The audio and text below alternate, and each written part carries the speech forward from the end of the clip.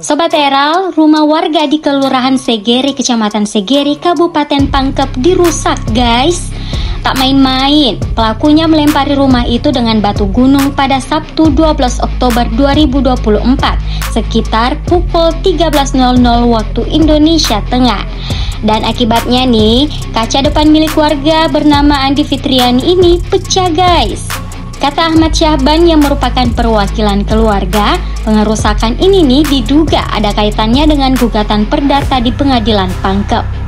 Tapi untungnya nih, tidak ada penghuni rumah yang terluka.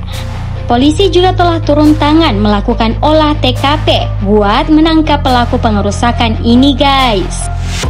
Kami duga ada indikasi bahwa uh, pengerusakan ini ada uh,